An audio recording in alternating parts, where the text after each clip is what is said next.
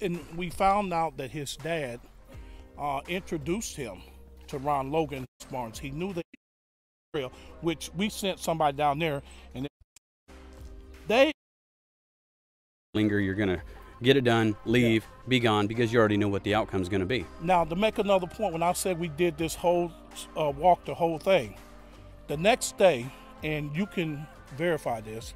What time did they found the girls? Around noon. Around noon. Okay. They started searching. They got everybody out here at the a certain location around eight or nine, and they had a, a list.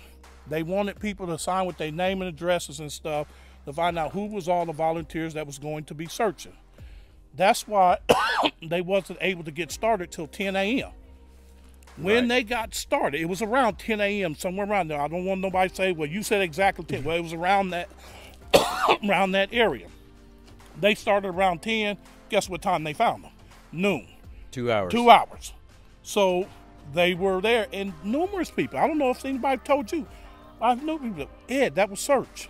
That was search that night. I promise you, Ed, it was search. Even ATVs, they said. Yeah, yeah.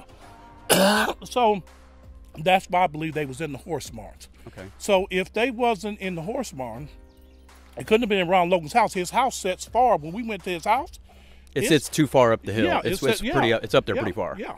So somebody that knew them horse barns and was comfortable and knew that nobody wasn't going to be there.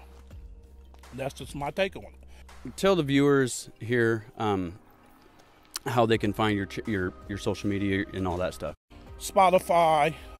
Have a suspect in this case? Absolutely not. I don't have a suspect in this case. I, I, I believe that the person that we're looking for is someone that nobody really suspects. It's going to be that person that you just think is a nice guy. And I just don't feel that it's a criminal. I think that it's the guy hiding in plain sight that's right there in front of us. Um, you never know. Maybe he shows up to some of these things sometimes and, and we wouldn't even know it.